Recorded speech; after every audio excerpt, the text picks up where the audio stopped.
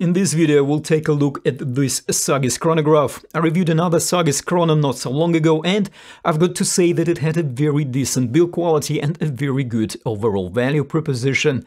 Is this the case with this watch? Well, in this video we'll try to find out.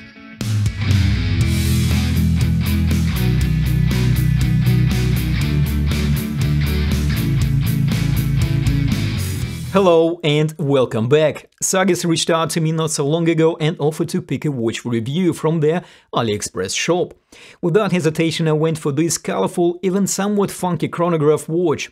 I will be honest, I was impressed by the visual design, looks like a real petrol head watch. Little did I know, however, after a few clicks on the interweb, it transpired that Sugess borrowed cues, should I say, from a Breitling Top Time Deus Collaboration Limited Edition chronograph. I must point out, however, that even though it is not immediately obvious, there are some conceptual differences between Breitling and this Sugess watch. I will get to those details and those differences in a moment, but for now I'll just say that, in my opinion, those differences do not make this Sugess any less interesting, probably to the contrary. Dare I say, these differences even give this watch some sense of individuality. And of course, there will be a link in the description to Sugess AliExpress store and to this watch listing. Yes, Sugess priced this fully mechanical chronograph at 197 US dollars. An absolute steal in my opinion for what we get here and compared to other mechanical chronographs on AliExpress, which are based on a similar movements. And of course, as usual, by using discounts and coupons during various sales on AliExpress, which do occur nearly every few weeks, we can get a further $10 or even higher discount.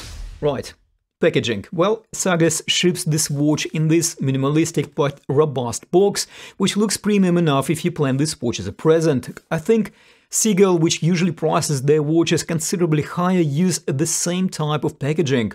In the box we get the usual user manual and the warranty card. Sugess also included another strap, a metal mesh type, which does change the look of this watch quite dramatically. Personally, I think there are better strap options for this dial colorway, however, you might like it and I think it is good to have that extra option. And also being a 20mm strap, I can of course use it on other watches in my collection. And by the way, both straps come with a quick release, so we can easily switch them around without needing any tools. Dimensions. We have a classic 40mm diameter with 20mm lugs proportions here, which I think suits this watch very well.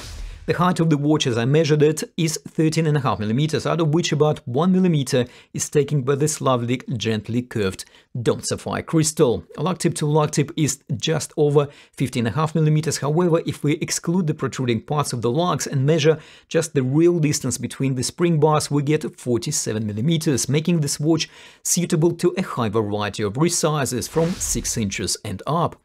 And on the supplied leather strap, this watch weighs 71 grams. Nice and light. The supplied leather strap will cover up to 8 and a quarter inch wrist or 21 centimeter wrist in circumference. And of course, with 20 millimeter lugs, we can always easily swap it for a longer strap if needed. Dial. Dial is definitely one of the highlights of this watch. We have a contrast combination of black tachymeter track and subdials on a champagne background. All the markings on the dial are clear and crisp and well executed. Okay, one thing that was designed by Sugess here was the writing, and I must say that they did a pretty good job. I like the font and minimalistic branding under the 12 o'clock marker and right to the point wording at the bottom of the dial as well. I think it fits very well with the overall aesthetics of the dial. Also, as I mentioned earlier, the execution is very good, especially considering the price point of this watch. The hour markers are applied and filled with lume. We have a combination of yellow and orange hands here. By the way, an interesting detail. Looks like the yellow hands are related to the normal running time, that is, the hour minute and the running seconds on the left subdial, showing us the current time. And the orange hands relate to the chronograph, the lightning strike shaped second hand and a 30-minute chronograph accumulated at 3 o'clock subdial. I find this color separation uh, between chronograph and normal time hands quite useful and it makes the functionality and operation of this watch very clear. The minute and the hour hands are filled with lume and provide a sufficient level of visibility in the dark. Unfortunately, this is not the case with the lume on our indices, which is somewhat weaker.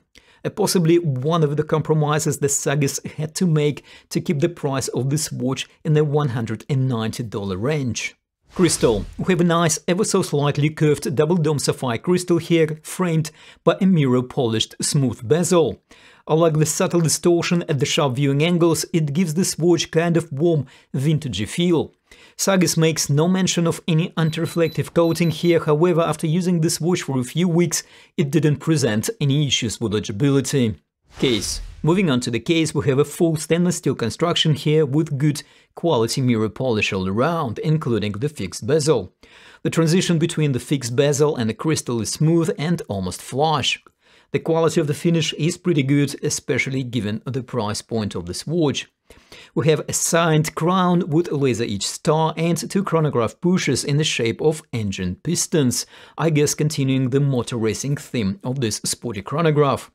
The transitions between the facets are also well finished and there are no sharp corners to speak of.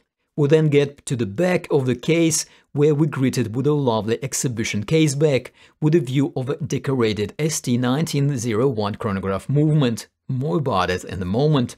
Sugess declared 50 meters of water resistance on this chronograph, so it should be sufficient to wash your hands and maybe get under occasional rain. However, with a non-screw-down crown and non-screw-down pushers, I would recommend to keep this watch away from the water exposure.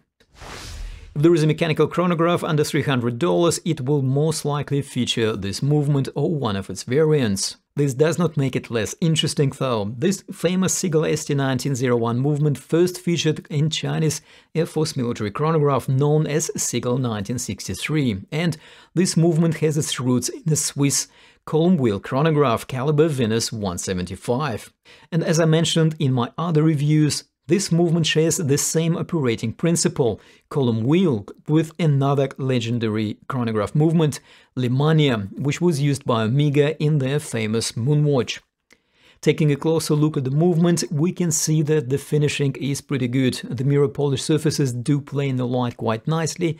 We even get some additional decorations like Geneva stripes, blue screws, although those I think are actually painted, and so-called swan neck regulator on the balance wheel, which usually allows for more accurate adjustment.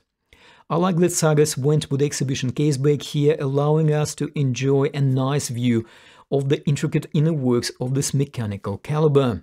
One thing to remember though about this movement, it is a mechanical movement which does need a periodic wind. And as far as I know, the wind mechanism still does not have a clutch, and therefore we need to be careful not to over-tight the spring. That is to stop winding the crown once you feel a fairly strong resistance. Bracelet. As already mentioned, both supplied straps come with a quick release option and in general are of a good quality. And this watch is really good if you want to experiment with different styles and strap colors. Because the dial has black, yellow and reddish accents, this watch works well with black and various shades of brown leather straps. And by going from crocodile pattern leather to a sporty smooth perforated or bund leather straps, we can really dress this watch up or down as we wish. Sugess also offers a so-called version 2 of this watch with only difference as far as I can see a really nice sporty leather strap. This would be my choice to be quite honest, and Sugess also sells that strap on its own, so I will leave a link in the description of this video if you want to get it. Okay, the good, the bad.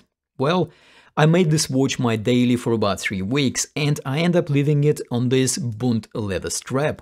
I like the cool and casual aesthetics of this look.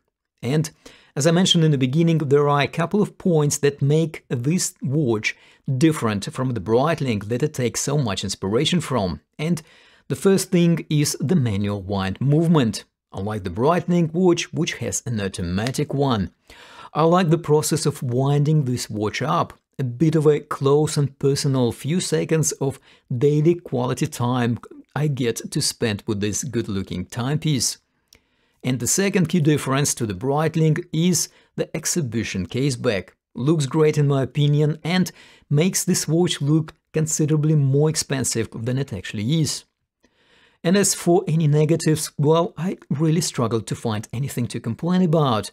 The watch looks great and proved to be quite accurate in the daily use.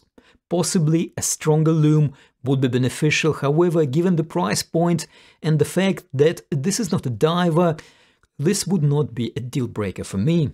Other than that, a great mechanical chrono for under 200 bucks, an easy choice if this is the type of watch you're after. What are your thoughts? Well, do let us know in the comments.